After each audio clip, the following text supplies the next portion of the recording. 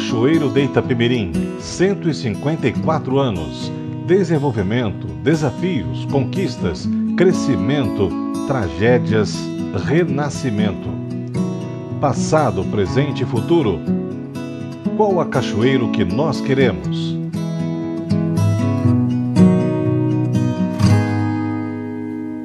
Cachoeiro foi reconhecido como o polo mais importante do Espírito Santo. E com todo esse crescimento econômico, se fez necessário a urbanização. Então, em 1846, foi construída a primeira casa, que se localizava às margens do rio Itapemirim, na atual Rua Moreira, e pertencia a Manuel de Jesus Lacerda. Cachoeiro pertenceu a Itapemirim, todo o sul do estado, na verdade, pertencia ao território de Itapimirim e foi se emancipando. Cachoeiro também passou por esse processo. Na medida em que o café vai se desenvolvendo na economia brasileira, Cachoeiro vai se tornando um polo muito importante da produção de café aqui no sul do estado, na época sul da província. Então muitas pessoas foram se acomodando aqui naquela região, né? apostando naquela região. Comerciantes, fazendeiros e outros profissionais também. Com o tempo, então, ela vai se tornar, a cachoeira vai se tornar uma freguesia, uma espécie de distrito, né?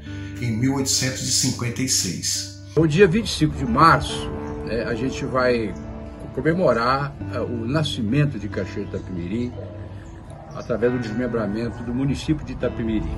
Na verdade, é, dia 23 de novembro de 1864, em Itapemirim, a Câmara Municipal aprovou uma lei que desmembrava Cachoeiro. Só que quando desmembrou Cachoeiro de, de Itapimirim, Cachoeiro do município de Itapimirim, é, Cachoeiro foi com mais 10 municípios. Era Cachoeiro, Rio Novo do Sul, é, Presidente Kennedy, Atílio Vivaco, Guaçuí, Alegre, Cachoeiro e a, a, a, Cachoeira, a geografia de Cachoeiro, área geográfica, e até Minas Gerais e Rio de Janeiro, com Bom Jesus e Itabapuana.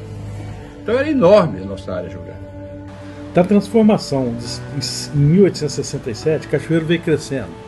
Trouxe Jerônimo Monteiro, o grande governador do, do, do estado, trouxe Bernardo Horta, uma pessoa política e pessoa física da mais importante qualidade para a nossa região, exemplo mesmo.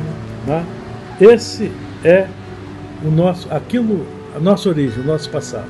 Durante muito tempo se pensou, por exemplo, que o nome vem em função do encachoeiramento do rio por conta das pedras que existem ao longo do, do leito, né, do seu leito, especialmente aqui nessa fase, nessa área da cidade. Na verdade, não. Na verdade, cachoeiro vem de o um conjunto de caixões que, que, é, na verdade, é, se constitui naquela turbulência, de modo geral, né, que existe na água por conta da presença das pedras. Quando essas pedras não existem, o rio corre de forma caudalosa, né? tranquila. Mas quando há o um impacto com essas pedras, há a formação de redemoinhos, de toda aquela agitação na água. Isso, são, isso que são os cachoeiros. O termo Itapemirim deriva do tupi-guarani e seu significado é o caminho da pedra pequena, Antes da emancipação, a cidade também chegou a ser denominada como São Pedro de Cachoeiro de Itapemirim, São Pedro do Cachoeiro de Itapemirim e Cachoeira de Itapemirim, dentre outras variações de grafia. A partir da Revolução de 30, Cachoeiro, se não afundou, não afundou, mas ficou para trás. Foi tudo para Vitória. E isso nós ficamos defasados, muito defasados. Não sucumbimos inteiramente, mas deixamos de ser a linha de frente do Estado. Esse é o nosso presente. Cachoeira era uma referência do Estado do Espírito Santo. Né? Mas é, o, o, que, o, que, o que me salta aos olhos é, é o povo de Cachoeiro, é porque quantas, quantas coisas ruins, né, ao longo do tempo, Cachoeiro foi acumulando, quantas perdas. E mesmo assim, Cachoeiro é um, um exemplo do Espírito Santo. Você vai no norte do Espírito Santo, no norte não tinha nada, no norte não era nada. Cachoeiro de Itapemirim é um dos maiores municípios capixabas. Sua posição estratégica pode ser atraente para grandes investimentos. Terra de gigantes. Seu povo ordeiro e trabalhador espera um futuro promissor.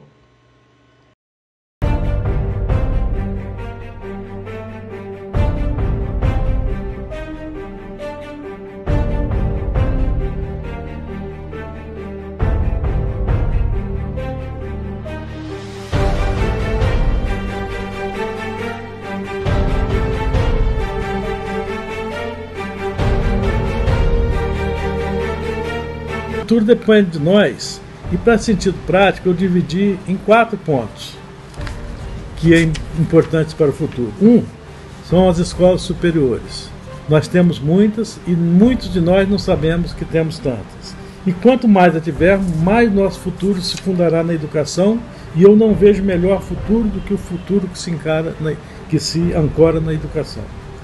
Paralelamente, dois, paralelamente à educação superior vem a indústria mármore e granito, mais que cinquentenária, personagem importante do presente, mas que pode crescer muito no futuro e economicamente não haverá futuro para Cachoeiro sem mármore e granito. Três, o nosso artesanato riquíssimo, mas que mal sobrevive no presente. Espero que o futuro dê a ele destaque que merece, elevando a Cachoeira muito mais.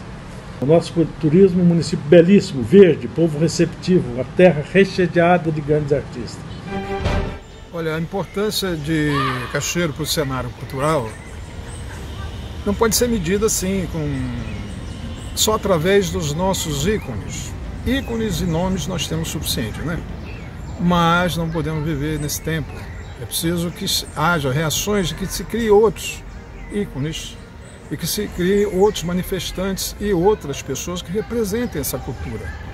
Referência em saúde, educação superior novas empresas se juntam aos cachoeirenses, gerando emprego e renda. Força na indústria, comércio e serviços, sem perder a criatividade e a sensibilidade que fazem de Cachoeiro de Itapemirim uma referência na cultura e nas artes. Com mais alto grau na educação, na nossa riqueza com mármore e granito, do nosso artesanato excelente, de artesãos e artesãs excelentes, e das nossas possibilidades turísticas. Uma região lindíssima e forte, com tão grandes artistas. Por isso que eu tenho plena confiança de um futuro sempre melhor, haja visto que nós temos aí no, no jornal O Fato. Bom, quem poderia imaginar, não é? Há 20 anos atrás, que hoje seríamos essa, essa, teríamos essa forma de comunicação. E está aí os elementos todos trabalhando. Todo mundo trabalhando, todo mundo cumprindo os objetivos de informar e educar.